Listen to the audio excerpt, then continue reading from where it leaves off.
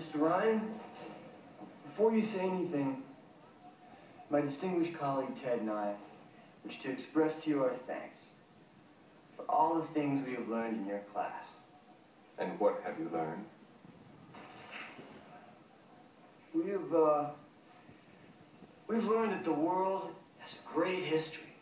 Yes, and that thanks to great leaders such as Genghis Khan, Joan of Arc, and Socratic method, the world is full of history. It seems to me the only thing you've learned is that Caesar is a salad dressing dude. Bill,